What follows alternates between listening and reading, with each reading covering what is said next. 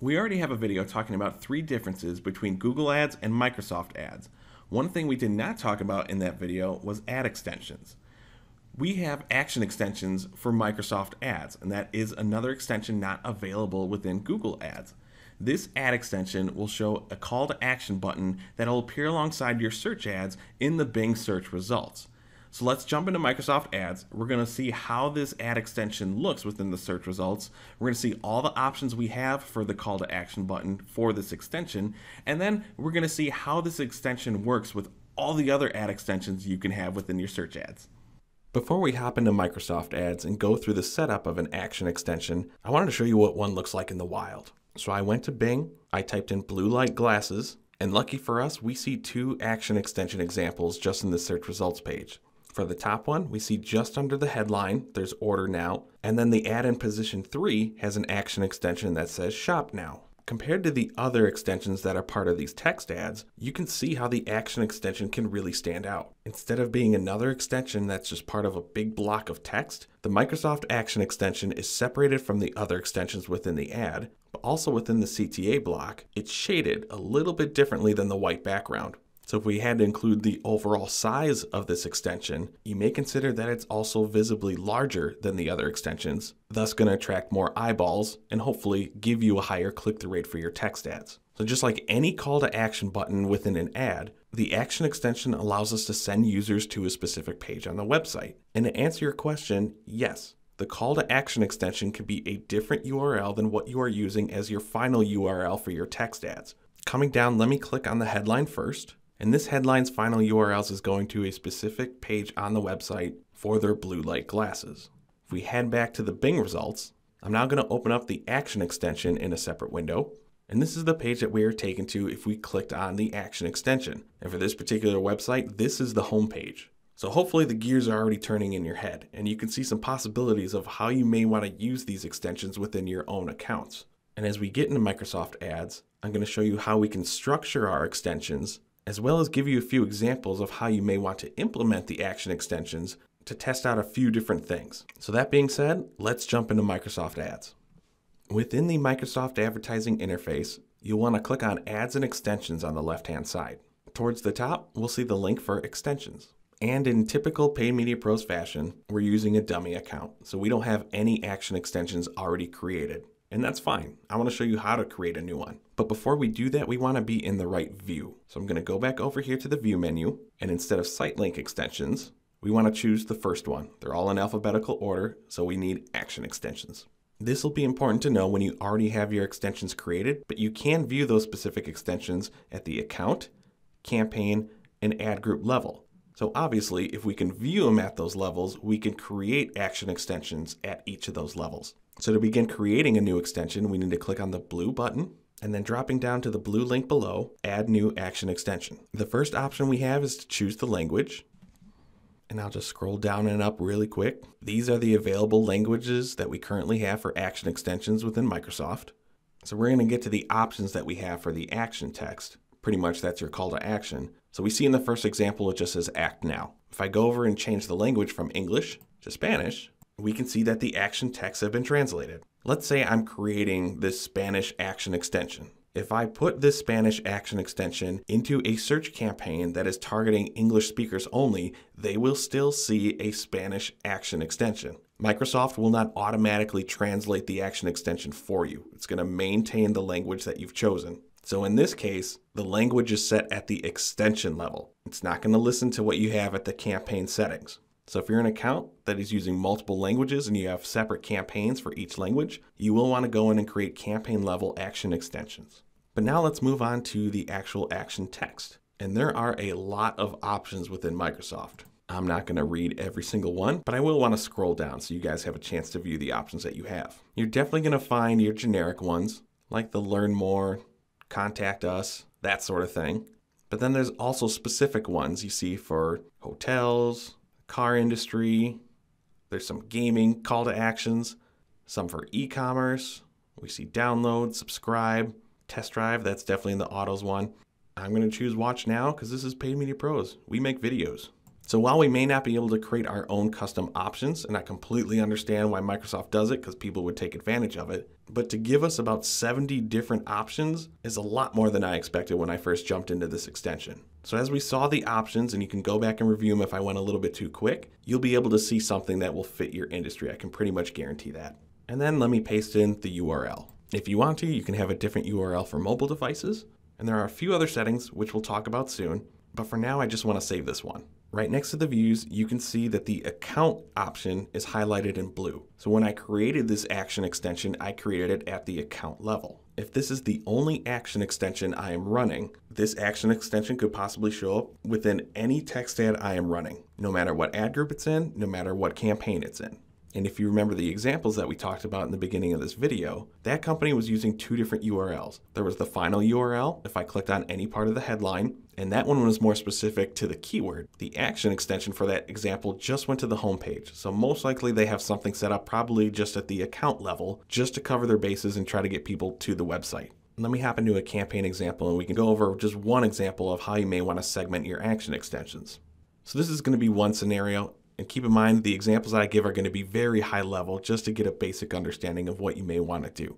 I'm not saying I would structure a campaign like this, but let's just move on. Let's pretend this particular account has one campaign using RLSA, that's your remarketing list for search ads. Each ad group is purposely targeting a different audience that we have collected. There's all visitors, anyone who visited any page on this particular website. We have a separate audience and a separate ad group targeting only the people who visited the Contact Us page on the website. And then maybe this company really believes in customer service, and anyone who is a current customer is being targeted in a third ad group. Well, going into the All Visitors ad group, we can see I lost my other options here because I'm already in this specific ad group, but I don't have anything at this level. I can create a new action extension. If you already have action extensions created, it's easy to click the plus button and add that one over, but I will create a new one again. Again, the audience is all visitors. So maybe I will want to use a higher level call to action like learn more.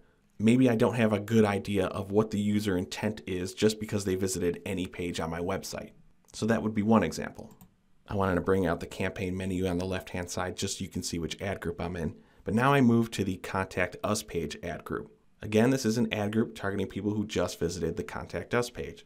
I'll go in and create another extension, and maybe I want to specifically choose the action text of Contact Us. For whatever reason, people went to the page, they didn't fill out the form yet. Maybe I want to choose an action text that is almost mimicking the action the user almost took on my website. And if I want to, I'll save that one. And then we have that third ad group, targeting users who are already customers. I believe in keeping my current customers happy, so I'm going to invest in some money to help them find what they're looking for right away. Focused on extending my lifetime value. So we'll create a different one potentially, and I want a new one again. And I'm going to encourage my current customers to log back in. We now see that each ad group has their own extension. And as this starts running, they will each have their own stats, and I can see specifically is this working.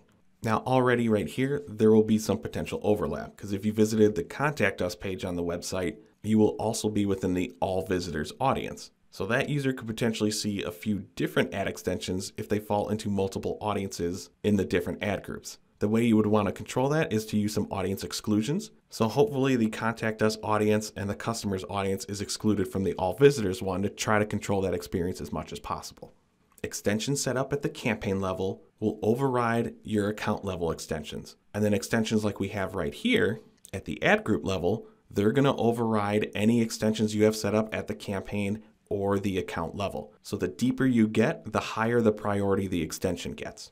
If I do have different extensions with different action texts set up at the campaign or account level, those will not show up within this particular campaign because the ad group level is going to override them.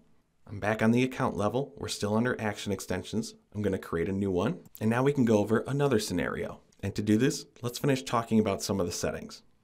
We went over the main parts of it, the language, the action text, the URL options. Yes, you do have parameter options right here too that I didn't really discuss, but the other additional setting I want to talk about is the selected days and hours. So now we can have ad scheduling for our action extensions. Let me go back up a bit so we can choose some action text. I know there's one particularly for getting an offer. And we have deals and coupons, so any of these are going to apply. Let's say you have a sale, a limited offer. I'm creating this video in February of 2021. But you can see Microsoft let me select dates a couple months down the line. So you can proactively set up some of these extensions if you want to promote a certain offer. I know this offer is only available in April. If it's available site wide, I can set it up at the account level. If you have offers for particular campaigns and ad groups, set it up within those individual levels as well. And then we can see we can choose to have it by the accounts time zone, which is the default option, or I can have this extension show up during the ad viewers time zone. So if your business does have specific offers or any limited time deals, this could also apply to some of the industry specific ones, like the automotive and hotel ones that we saw in there. You can see how action extensions can really help with your limited runs. Let's switch it up a bit. I'm going to choose the action text of order now. Let's pretend we're a restaurant. We have limited hours. I'm going to remove the start date and end date. I want this to be an evergreen action extension. People can order food, come and pick it up, but I'm a restaurant that's not 24 hours. I only want to have this extension running at certain hours of the day. So besides start dates and end dates, we can add a schedule. So when my restaurant is open, I can have the account level extension of order now. Now if I go back in and create a new one, I'm going to choose the action text of see menu. I still want people to be interested in the food that my restaurant offers, but I don't want to tell them to order now because they can't. I'm not open. I can't give them the food that they may want at that moment. In my first action extension I created for ordering now, my restaurant was open from 11 a.m. to 8 p.m. And I'm pretty sure I had it on all days. So for my off hours, I need to create one from midnight to the open time of 11, and then I need to add another one. This one will go from 8 p.m. to 12 a.m. It won't let me create one from 8 p.m. to 12 a.m. The scheduling for these extensions can only go from early to later. It can't go from later to early. It doesn't understand that it might be different days. So I have to create two different ones here. So for this restaurant example, we have two different extensions. When my restaurant's open, users can potentially see the action extension of order now. And maybe the landing page will be different. Maybe I'll have it set up where it'll go straight to the pickup or delivery option. And when my restaurant cannot fulfill any orders, I'll set the timing to show the see menu option and that landing page will at least get people interested in what I have to offer. I understand a restaurant example is extremely specific, but you can see how you can use Action Extension scheduling if your services or your offers change depending on the time of day. So if I save those two, those are now going to be my extensions at the account level. And after they launch, you see that certain extensions aren't performing. You can always highlight any of them I can look at editing the extension. Maybe I know the action text is dead on, but potentially I can test a different landing page. Adjust the ad schedule. Any changes you want to make, you can do that. Or if it's just flat out not working, you can delete it from any particular level. Now on here, I'm just deleting the association to the account. I'm not deleting the extension itself in case I ever want to use it again. And when I'm in the create action extensions section again, you can see I can also edit and remove extensions from this view as well. I know I only gave a few examples, and there are a ton more that I can give, but hopefully this gave you a better understanding of how you can use action extensions. It's easy enough to just slap one at the account level and just let it run, keep it high level, and I'm not saying that's a bad strategy, but we get the ability to edit these extensions at multiple levels within your account, and you can layer them in with audiences, you can see what we can do with promos, you can see how we can schedule them at certain different times to try to get people in certain moments. This is a pretty unique feature that Microsoft Ads gives us that we don't have in the other channels yet. So if you're running Microsoft Ads campaigns, make sure you're going into your accounts and setting up this extension so you can utilize it to its fullest potential. Thanks for watching our video. If you found it useful, give us a thumbs up below. We release a new video at least once a week, so if you want to see more from the Paid Media Pros channel, be sure to subscribe.